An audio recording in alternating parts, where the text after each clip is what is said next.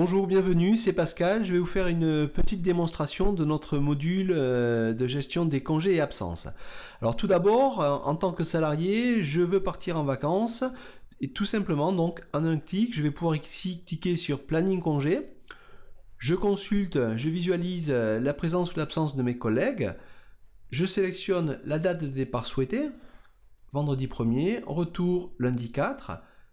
Et tout simplement, ici, j'arrive sur mon formulaire de demande de congé, dans lequel je retrouve le décompte des jours, en fonction des week-ends ou des jours fériés, et je peux soumettre à validation ma demande. Un email est envoyé à mon manager, qui va lui-même pouvoir en un clic valider ou refuser cette demande. Maintenant, en tant que manager, je suis sur ma page d'accueil, je vois ici dans cet encart, euh, dans l'encart congé absence, que j'ai 6 demandes de congé en attente de validation. Si je clique, je peux visualiser ces demandes.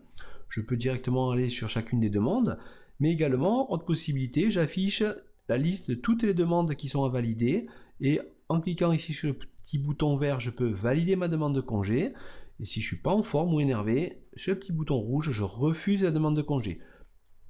Exemple, je valide la demande de congé, automatiquement les compteurs sont mis à jour, sont décomptés, et un email de notification est envoyé à ma collaboratrice ou à mon collaborateur.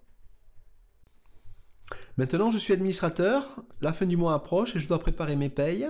Donc ici, vous voyez à partir du menu principal, j'ai le sous-menu Export Pay, à partir duquel, en un clic, J'arrive sur euh, la liste de mes euh, demandes de congés saucissonnées en fonction de la période, hein, en l'occurrence du 1er du mois au 31 du mois, et je vais pouvoir exporter ces données directement au format Excel ou au format de mon logiciel de paye. De la même manière, si dans votre entreprise vous gérez les tickets resto, les titres de restauration, vous pouvez les exporter et automatiser le passage de la commande avec le calcul du décompte du nombre de tickets en fonction des jours de présence ou d'absence de vos collaborateurs.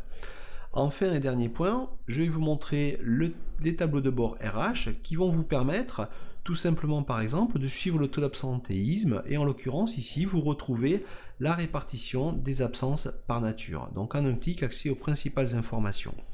Voilà, je vous remercie, bonne continuation et à très bientôt.